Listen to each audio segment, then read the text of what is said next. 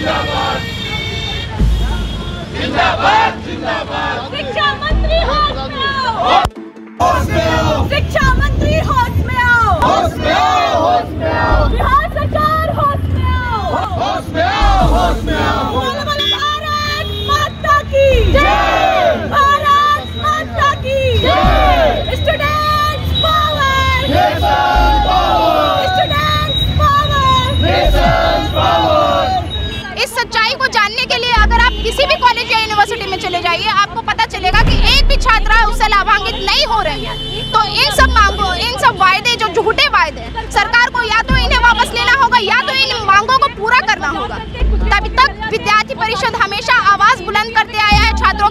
हमेशा करता रहेगा। कब तक बच्चों को झूठे बहलाते रहेगा बिहार सरकार। इसको लेकर के बहुत सारे लोग जो गरीब परिवार से आते हैं पढ़ नहीं पाते हैं उनको फ़ीस वसूला जाता है कोई परीक्षा के नाम पर कोई मेंटेनेंस के नाम पर तरह तरह के महाविद्यालय में। उसको कैसे देखते हैं नमस्कार आप देख रहे हैं रिपब्लिकन न्यूज़ ब्रजेश कुमार के साथ।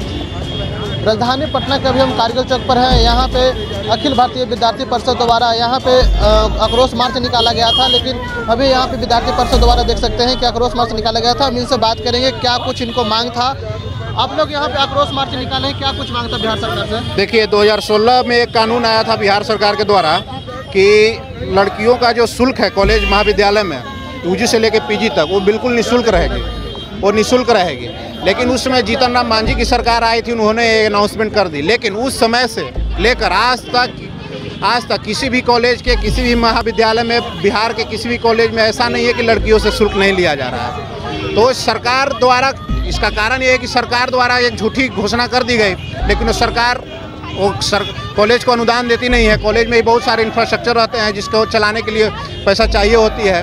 तो लड़कियों का फ़ी निःशुल्क करने के लिए सरकार द्वारा कोई शुल्क कॉलेज को या यूनिवर्सिटी को नहीं दिया जाता है। तो इससे क्या है कि लड़की के द्वारा कभी आईडी के नाम पे, कभी किसी डेवलपमेंट फ़ी के नाम पे उतना पैसा ले ही लिया जाता है जितना उनका फ़ी होता है। तो उसी के खिलाफ आज हम लोग बिहार सरकार और शिक्षा मंत्री के खिलाफ आज हम लोग एक आक्रोश मार्च निकाले हैं। अगर सरकार नहीं सुनती है तो आगे हम लोग का एक आंदोलन ये आक्रोश मार्च एक आंदोलन बहुत बड़ा आंदोलन का स्वरूप लेगा। आप इस 2016 से आक्रोश मार्च निकाल रहे हैं लेकिन अभी तक बिहार सरकार नहीं सुनी है। इसको आगे की रणनीति आप लोग का क्या होगा? आगे का रणनीति जल्द ही हम लोग इसे आज एक आक्रोश मार्च के रूप में रणनीति के रूप में आक्रोश मार्च निकाला है। फिर दो चार दस दिन बाद हम लोग एक सप्ताह में हम लोग कुछ नया रणनीति बनाएँगे और बिहार सरकार के खिलाफ एक बार ज़बरदस्त आंदोलन करने का तैयारी करेंगे। पूरे बिहार में।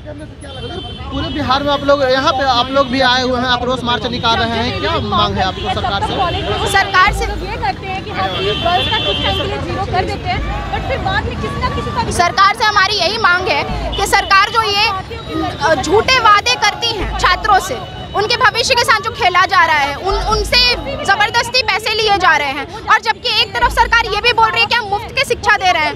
वो बहुत बड़ी बड़ी बातें करते हैं, बहुत बड़े बड़े वायदे करते हैं। उन्होंने ये तक भी कहा हुआ है कि हम जो भी स्नातक कर चुकी हैं छात्राएँ, उनको हम पचास हज़ार का छात्रवृत्ति देंगे। पर वो छात्रवृत्ति क्या छात्राओं को मिल रही है? इस सच्चाई को जानने के लिए अगर आप किसी भी कॉलेज या यूनिवर्सिटी में चले जाइए, आपको पता चलेगा कि एक भी छात्रा उससे लाभान्वित नहीं हो रही है। तो इन सब मांगों, इन सब वायदे, जो झूठे वायदे सरकार को या तो इन्हें वापस लेना होगा या तो इन मांगों को पूरा करना होगा। तभी तक विद्यार्थी परिषद हमेशा आवाज़ बुलंद करते आया है छात्रों का और हमेशा करता रहेगा। झूठे बहलाते रहेगा बिहार सरकार। इसको लेकर के बहुत सारे लोग जो गरीब परिवार से आते हैं पढ़ नहीं पाते हैं। उनको फ़ीस वसूला जाता है, कोई परीक्षा के नाम पर, कोई मेंटेनेंस के नाम पर तरह तरह के महाविद्यालय में। उसको कैसे देखते हैं आप? हम ये देखते हैं कि ये कितनी बुरी बात है कि अगर कोई भी ऐसे जो मतलब सारे जो स्टूडेंट्स हैं वो अच्छे ही घरों से नहीं आते हैं। बहुत सारे ऐसे होते हैं जो बहुत मीडियम फैमिली से आते हैं, उनको पढ़ने में प्रॉब्लम होता है। तो सरकार को वैसे स्टूडेंट्स के बारे में सोचना चाहिए कि हम जो ये झूठा वादा करते हैं और स्टूडेंट्स जा करके एडमिशन ले लेते हैं कॉलेजेस में तो ये क्यों आखिर हो रहा है? ये नहीं होना चाहिए। उन स्टूडेंट्स जो है वो आपको लगता है कि सरकार सोचते हैं ये कि झूठे वादे करके हम उनको पहला फुसला लेंगे, पर वो सारा कुछ जान रहे हैं आपके बारे में और वो आपको सपोर्ट नहीं करेंगे। ऐसी सरकार हमें नहीं चाहिए अपने लिए। तो यहाँ पे और छात्र आए हुए हैं, बात करेंगे। यहाँ पे आप लोग यहाँ पे आक्रोश मार्च निकाल रहे हैं। जो गरीब परिवार से जो लोग छात्र आए, आते हैं, उनको यूनिवर्सिटी में जाते हैं, उनको फ़ी के नाम पर तसला जाता है, कोई परीक्षा के नाम पर, कोई मेंटेनेंस के नाम पर तरह तरह का उनसे फ़ीस तसला उसको कैसे देखते हैं? सरकार ने अपना दावा कर दिया है कि हम लड़कियों से कुछ फ़ी नहीं लेंगे, लेकिन ये बस एक मज़ाक तक की बात रह चुकी है। वो किसी ना किसी तरीके से फ़ी लिया जा रहा है। फ़ी के रूप में नहीं मतलब किसी और चीज़ के रूप में वो चीज़ लिया जा रहा है।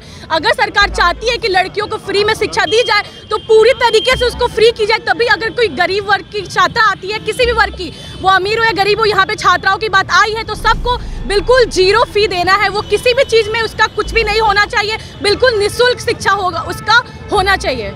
सर कब तक ही लड़ते रहिएगा? सरकार नहीं मानेगी तो ये तो 2016 से ही अभी तक लड़ रहे हैं 2022 भी आ गया है। अखिल भारतीय विद्यार्थी परिषद अगर हम यहाँ पे आज आक्रोश मार्च कर रहे हैं अगर जब तक सरकार नहीं सुनेगी आज इतने कम संख्या में है कल हम हज़ारों की संख्या में आके पूरे शहर में चक्का जाम भी कर सकते हैं हम भी देखते हैं सरकार कब तक नहीं सुनती है। आपका परिचय? मुस्कान ठाकुर प्रदेश कार्यकारिणी सदस्य। ये विद्यार्थी परिषद के मुस्कान ठाकुर यहाँ पे देख सकते हैं कि जो किस तरह से बैनर में जो लिखा हुआ, जो बैनर में जो लिखा हुआ उसको लेकर के बिहार सरकार द्वारा महाविद्यालय में पढ़ने वाली सभी छात्र छात्राओं एस सी छात्राओं का निःशुल्क शिक्षा की झूठी घोषणा करने के विरुद्ध में अभावी आक्रोश मार्च, अखिल भारतीय विद्यार्थी और जो देख सकते हैं किस तरह से यहाँ पे अखिल भारतीय विद्यार्थी परिषद द्वारा आक्रोश मार्च निकाला गया और यहाँ पे जो बिहार सरकार के खिलाफ जो आक्रोश मार्च निकाले और यहाँ पे जो शिक्षा मंत्री द्वारा जो निकाला गया। शिक्षा मंत्री को सीधे तौर पर कहना है कि आप लोग यहाँ पे जो विरोध प्रदर्शन कर रहे हैं, उनको लेकर के शिक्षा मंत्री बर्खास्त करो न तो ये जो ए सी जो A C S T bill आया था उसको लेकर के भी ये किया जाएगा। लेकिन यहाँ पे अभी तक फ़िलहाल ए बी पी जो कार्यकर्ता ए का जितने विद्यार्थी परिषद है, वो निकले हुए हैं। अभी तक के फ़िलहाल इतना ही, बना रही है रिपब्लिकन न्यूज़ पर। रिपब्लिकन न्यूज़ से जुड़ने के लिए सब्सक्राइब बटन दबाकर चैनल को सब्सक्राइब करें। नोटिफिकेशन प्राप्त करने के लिए यहाँ बेल को दबाएँ।